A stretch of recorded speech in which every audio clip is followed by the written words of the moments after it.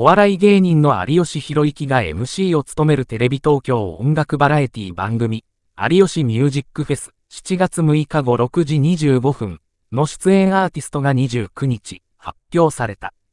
番組カット、藤井文也と共に歌唱を披露する有吉弘行同番組は、昭和、令和を代表する様々なアーティストが誰もが知っている名曲から最春ソングまで歌唱パフォーマンスをする。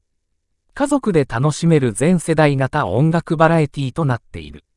今回発表されたのは、オクトパス、工藤静香、上腕、TRF、B、ファースト、50音順の5組。すでに発表されている歌手の藤井文也は、名曲、白い雲のように、お有吉文也藤井直之、作曲担当でテレビ初歌唱する。収録を終えた上腕は、有吉さんと共演させていただくのはグループ全体では初めてなので、掛け合いもとても楽しかったです。この夏を盛り上げたいと思いますので、ぜひトークと音楽どちらも楽しんでいただきたいと思います。と手応え十分。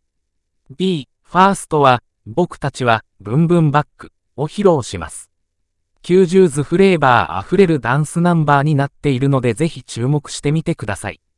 と呼びかけた。